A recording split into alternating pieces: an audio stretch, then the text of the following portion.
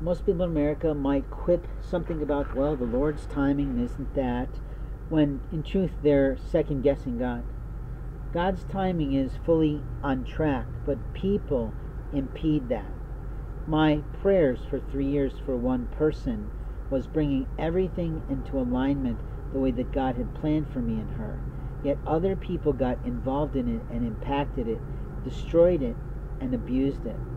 And each time we've tried to get it back together, someone else has come in and tainted it. And the liar hasn't won. The devil has won.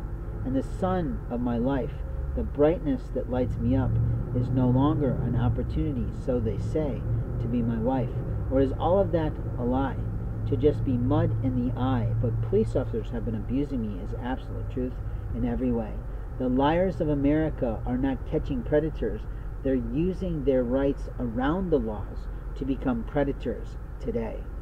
In America, we have rights, but if our rights can be taken, as Evi Pampura says, by a policeman, then what did he do to prove that we, he had the right to do that?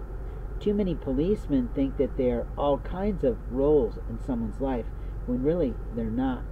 They're supposed to be the not equalizers of American life. They're not supposed to be the blue line between evil and chaos or chaos and the good and evil or whatever they like to tout in their bullshit on the blue line on the flags that we see the abuse of the American flag on.